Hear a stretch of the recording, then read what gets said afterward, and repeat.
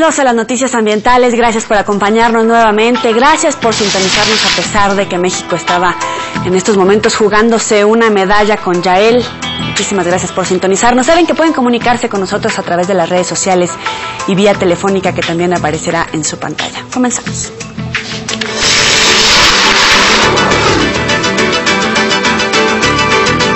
Fueron evacuadas.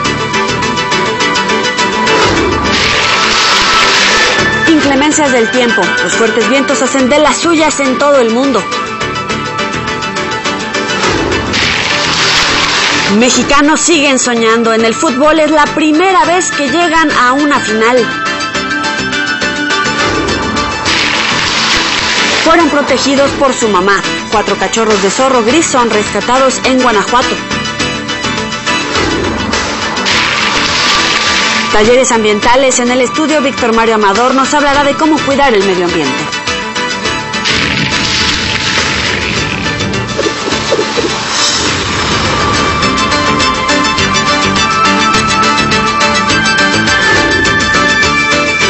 Con estas fuertes imágenes captadas por una cámara de seguridad en Taiwán. Se trata del momento exacto en el que un hombre muere al caer en un tremendo socavón que se abre repentinamente debido al mal tiempo causado por el tifón Saola que azotó el país asiático la semana pasada. Como pueden ver, el hombre iba caminando tranquilamente cuando al parecer siente algo extraño en el suelo que lo hace tratar de regresar, pero no lo consigue, pues en unos cuantos segundos el suelo se hunde. ¿A poco no le recordó esta palapa hace algunos años? Es el momento exacto en Taiwán.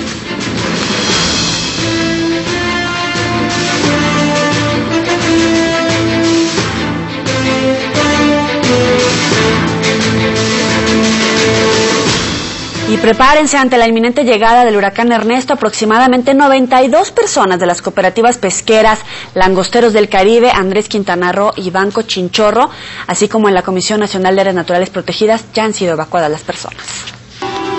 92 personas de las cooperativas pesqueras Langosteros del Caribe, Andrés Quintana Roo y Banco Chinchorro, así como de la Comisión Nacional de Áreas Naturales Protegidas, han sido desalojadas ante la proximidad de la tormenta tropical Ernesto sobre el Mar Caribe. De manera preventiva nada más este, hemos movido a las 93 personas de la zona del Banco Chinchorro. Obviamente eh, esto como preventivo eh, tendrá en su momento el que regresen a, a sus zonas de trabajo. 30 refugios de la zona urbana y más de 29 en la zona rural ya están disponibles debido a las afectaciones que pudiera causar este fenómeno. Solo un poblado de Otompe Blanco, Revolución, no cuenta con refugio anticiclónico para los habitantes, por lo que serán trasladados a otra comunidad. Tenemos este, arriba de 30 refugios dentro de la ciudad y más de 129 refugios en la zona rural. Todos han sido revisados por parte de Protección Civil Municipal. Solamente hay una comunidad, en el caso de la comunidad de Revolución, donde no está apto el, eh, lo que se utilizaba como refugio anticiclónico y se trasladaría a la gente directamente a la comunidad de Calderón. Hasta el momento ya han sido resguardadas 34 embarcaciones, entre ellas 31 lanchas y 3 barcos, aunque queda pendiente otra de la comunidad de Majahual. Para Notivisión, Paulina Gutiérrez.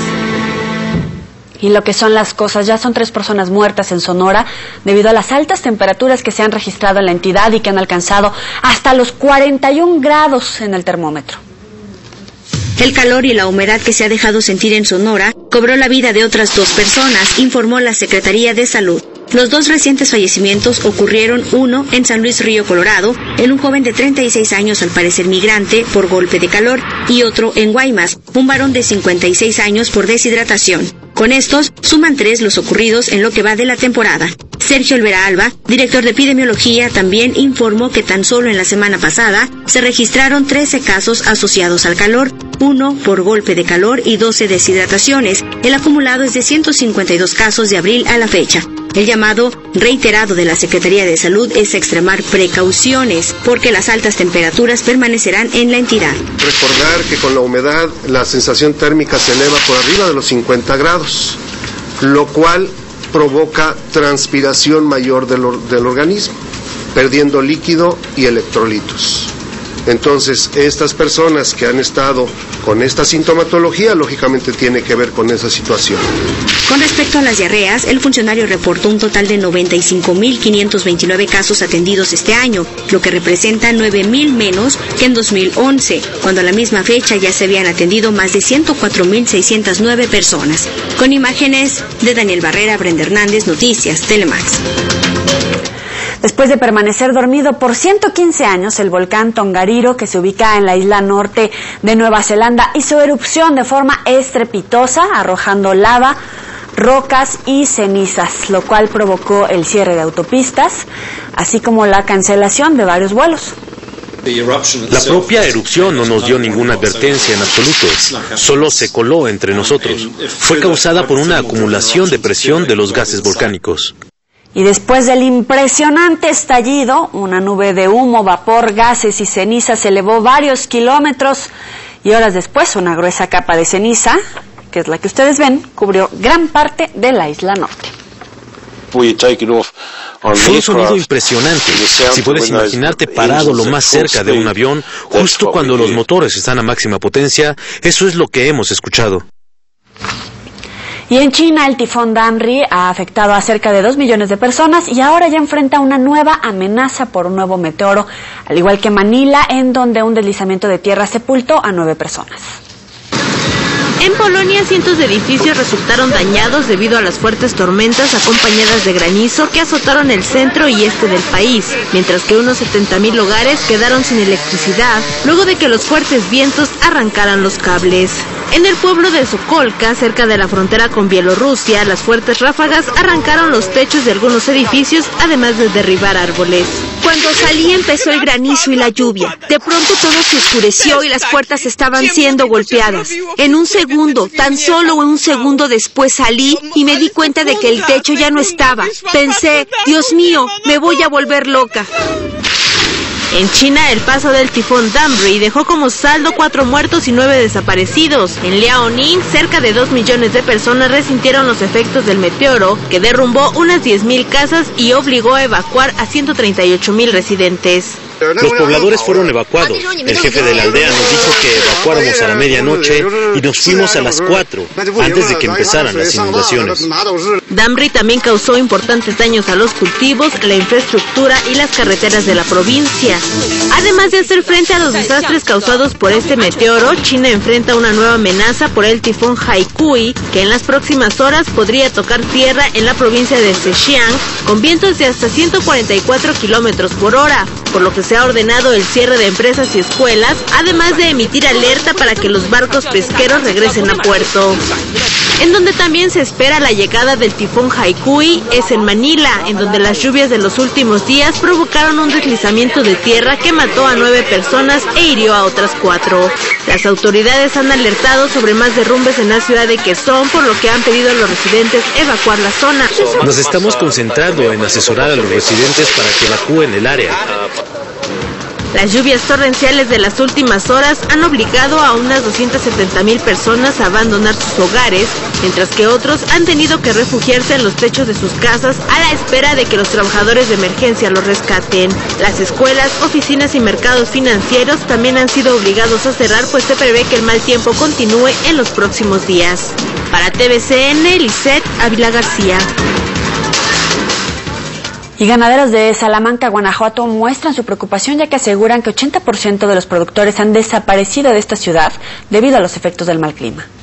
El sector agropecuario del municipio se encuentra preocupado por el ganado y por las siembras de temporal, ya que las lluvias han llegado tarde y el frío de octubre y noviembre van a afectar su producción. A decir del presidente de la Asociación Ganadera de Salamanca, David Pérez Alvarado, el 80% de los productores de ganado del municipio han comenzado a desaparecer, a pesar de haber sido una zona muy importante en el país.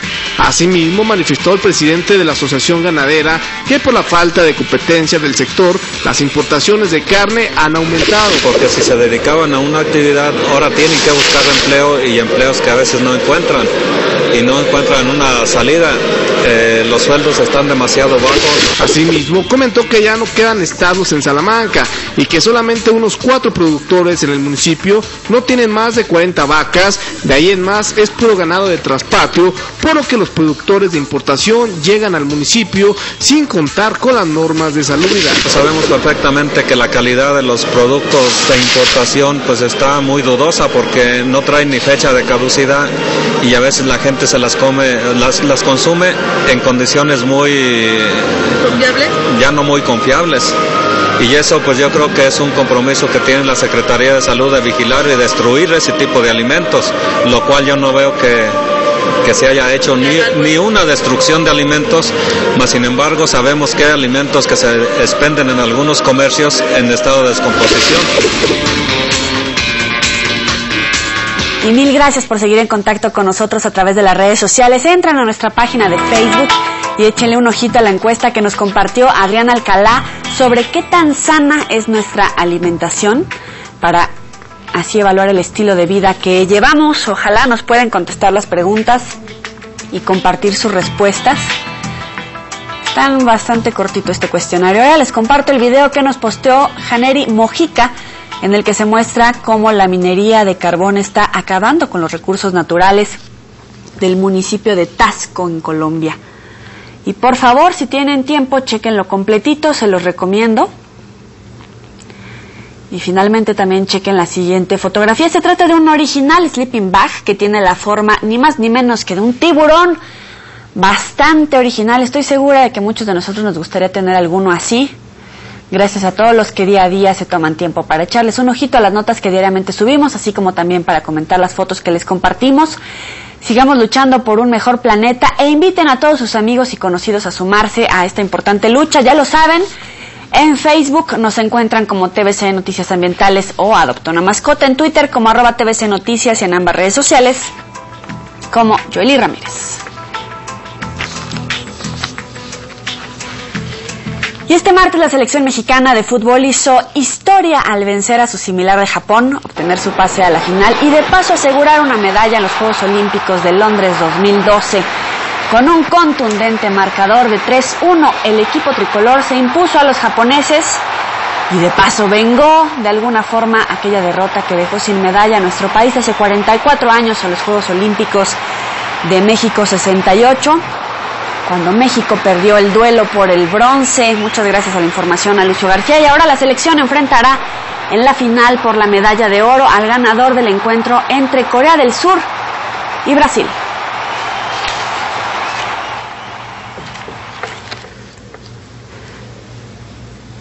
Los Juegos Olímpicos de Londres 2012 nos han traído actuaciones históricas y espectaculares como en la alterofilia o levantamiento olímpico de pesas. En estas disciplinas vimos un duelo impresionante entre el ucraniano Olesi Toroki y, el iraní eh, Nadav Nashirelal por la medalla de oro, que al final se quedó en manos de Ucrania, pero en nuestras Olimpiadas Animales les presentamos al ser más fuerte sobre la faz de la Tierra y aunque ustedes no lo crean, este pequeño apenas mide 5 centímetros. Se trata del escarabajo rinoceronte. Durante la final varonil de alterofilia, en la categoría de los 105 kilogramos, el ucraniano Oleksiv levantó 227 kilogramos en envión. Para arrebatarle de forma increíble la medalla de oro al iraní Navad Nasirjelal, quien buscaba el primer oro para su país en Londres 2012 y de paso emular a su compatriota Hussein Reza Sadeh, poseedor del récord mundial y considerado el hombre más fuerte sobre la faz del planeta al levantar 263 kilogramos. El actual ganador del oro olímpico ni siquiera se acercó a la increíble marca de Hussein, al que se le conoce como el Hércules iraní, pues los 263 kilogramos que cargó sobre sus hombros es la mayor cantidad en la historia. Para que se den una idea de lo que son 263 kilogramos, Hussein podría levantar una moto Harley Davidson modelo Sporter sin ningún problema, algo que ningún ser humano podría hacer. Sin embargo, el reino animal nos presenta al animal más fuerte que habita en la Tierra, el escarabajo rinoceronte. Este insecto de apenas unos cuantos centímetros puede ser capaz de levantar hasta 850 veces su propio peso. Traducido de manera más sencilla, sería como si un ser humano levantara 65 toneladas. Esto significaría cargar aproximadamente 8 elefantes africanos. Algo simplemente irreal. TVCN, Lucio García Estrada. Estas son nuestras Olimpiadas Animales que ya nos copiaron en otra televisora, pero aquí nació en TVC Noticias Ambientales. Y bueno, desafortunadamente el clavadista Yael Castillo se jugó todo por el todo en el último clavado y las cosas pues no le salieron como deseaba. Del tercer lugar finalizó en el sexto dentro de la final en la prueba de clavados trampolín de tres metros. Ahí lo tienen.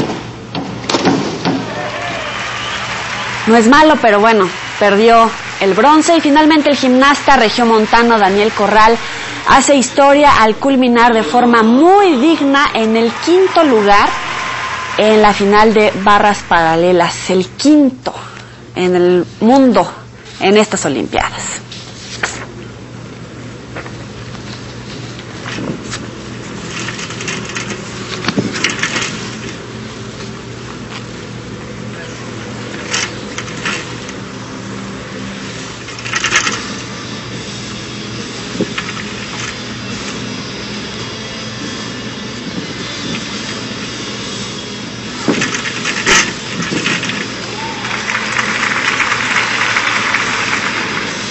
Yo lo vi en la mañana y la neta estuvo muy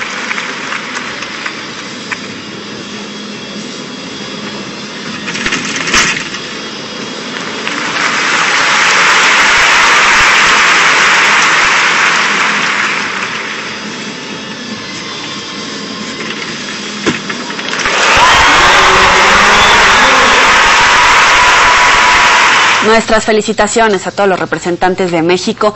Y desde la aparición del pulpo pol en la Copa del Mundo de Fútbol Sudáfrica 2010 han aparecido todo tipo de animales llamados psíquicos que predicen quién o qué equipo ganará algún encuentro deportivo. Y resulta que ahora un mapache que habita en el zoológico de Moscú, el cual por medio de unos panes decidió que China culminará su actuación en los Juegos Olímpicos de Londres 2012 en el primer lugar del medallero por encima de los Estados Unidos. Quedan cinco días de competencia y cualquier cosa puede pasar, pero por el momento China encabeza la justa con 65 medallas, 32 de oro, 19 de plata y 14 de bronce. El zoológico de Irapuato ya cuenta con nuevos inquilinos. Se trata de cuatro cachorros de zorro gris que fueron rescatados en el municipio de San Luis de la Paz, en Guanajuato. El zoológico de Irapuato se viste de manteles largos, luego de que la Procuraduría de Protección al Ambiente de Guanajuato les diera adopción a cuatro cachorros de zorro gris, quienes fueron rescatados por ciudadanos de buen corazón en el municipio de San Luis de la Paz. Desgraciadamente, la zorra, la madre de, de esta criatura, este, decidió poner la camada muy cerca de un rancho, demasiado cerca. Los perros del rancho se fueron en contra de la zorrita, la corretearon, la corrieron del lugar. Habitantes que de buena voluntad los acogieron, sin embargo, por ser un animal de vida silvestre y estar protegido por la Ley General de Equilibrio y Protección al Ambiente, cometieron un delito.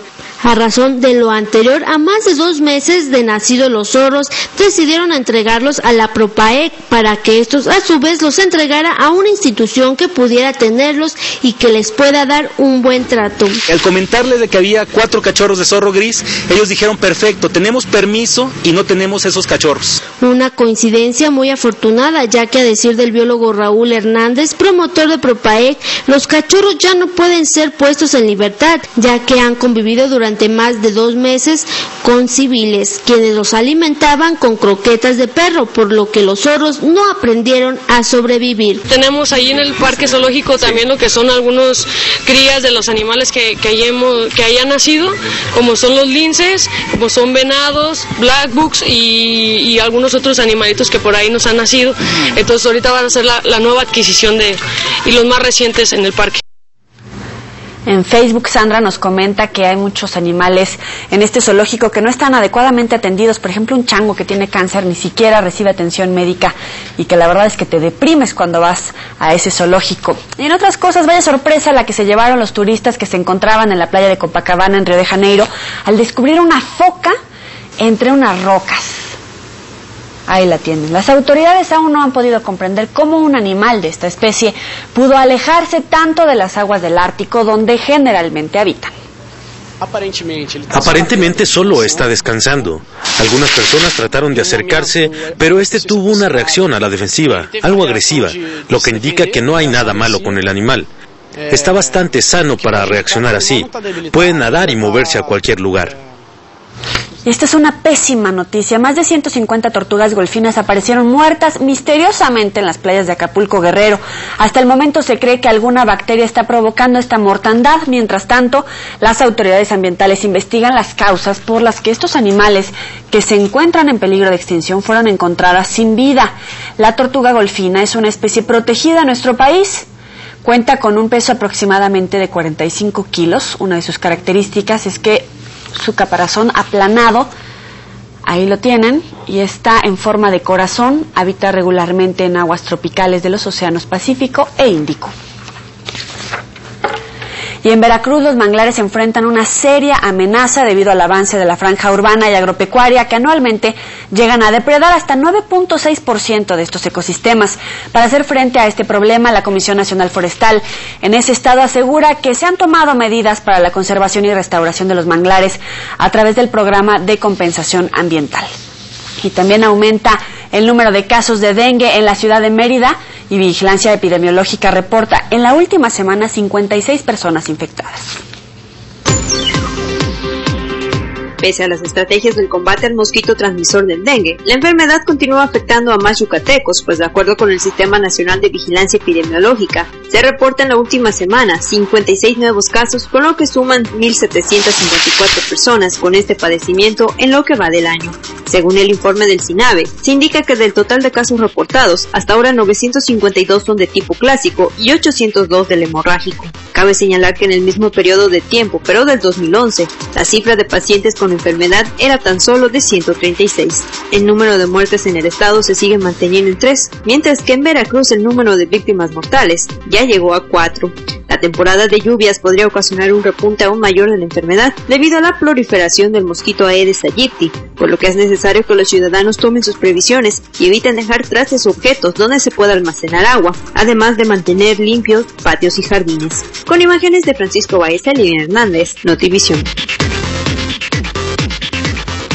Y esta tarde nos acompaña en el estudio Víctor Mario Amador Torres, es consultor ambiental para hablarnos de talleres ambientales. Bienvenido, muchas gracias. Hola, buenas tardes. ¿En qué consiste esta educación que están dando a empresas, por ejemplo? Eh, está enfocado mucho a generar algunos ahorros en las empresas.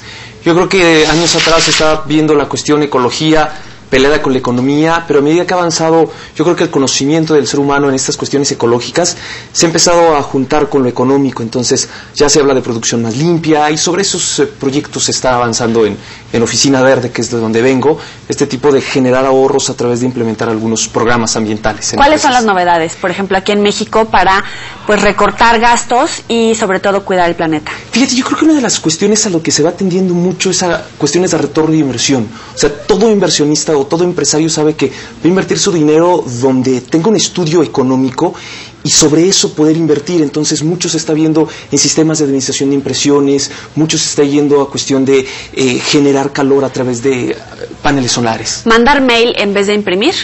Ah, sí, mandar mails, pero mucho cuestiones de digitalización. Fíjate que un caso práctico resultó con una empresa que trabajando en los comités comentaron que lo que estaban haciendo que era imprimir y archivar, lo estaban haciendo pues, porque siempre lo habían hecho así desde hace 10 años. Entonces, mucho el trabajar en cómo se puede digitalizar con gente de sistemas, gente de, la de, finanzas, con, de, de, cuentas por pagar. Entonces, yo creo que al, interior de, una empresa se pueden tener muchas opciones de ahorro. Más allá de, nuevas tecnologías, son nuevos procedimientos. Porque los procedimientos que se tienen son de hace 20, 15, 30 años. Como se estaban haciendo las cosas hace 30 años estaba muy bien, pero no había digitalización. Y hoy mucho del ahorro que se obtiene es a través de digitalización. Vamos, no todo se puede digitalizar, ¿no? Pero hay que trabajar mucho en procedimientos y mucho en organización. Oye, por ejemplo, nosotros podemos agilizar este proceso si nos metemos a las páginas de eh, los bancos que nos ofrecen sus servicios, ya tienen una opción para que todos nuestros recibos o los pagos los podamos hacer a través de Internet. Entonces ya no recibimos toda esa papelería en nuestra casa.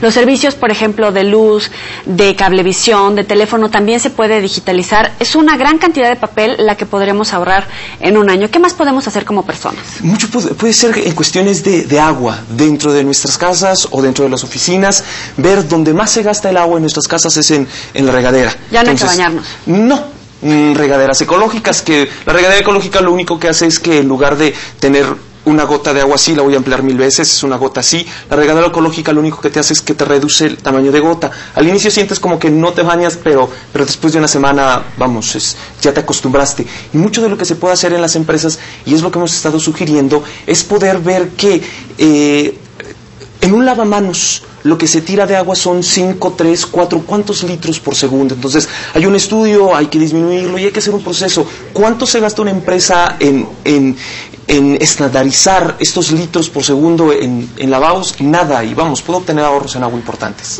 Oye, también, por ejemplo, hay otras este tipo de regaderas en la que cuando tú necesitas el agua, presionas un botón y ahí te, te sale agua. Mientras tanto, el botón aparece sin presionar, entonces no te cae una sola gota.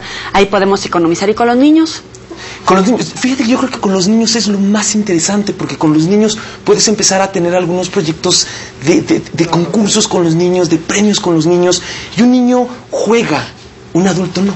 Entonces con los niños yo creo que hay posibilidades de, muchas más opciones, que con un adulto es, es complicado volverlo a como que a reeducar. Ok, ahí tenemos la dirección en pantalla, capacitación arroba oficinaverde.org.mx. Muchísimas gracias por compartir con nosotros. Muchas gracias a ti, Y por acompañarnos. Ánimo a todas las personas que están enfermitas, que van a enfrentar una operación. Es cuestión de actitud. Nos vemos mañana a la misma hora. Pásela bien.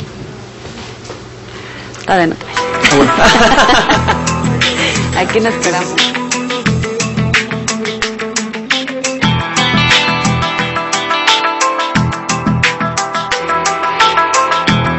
Puntualidad, clase, buenos modales y la cobertura más completa. En la capital británica daremos nuestra mejor marca. Trigésimos Juegos Olímpicos Londres 2012 por TBC Deportes.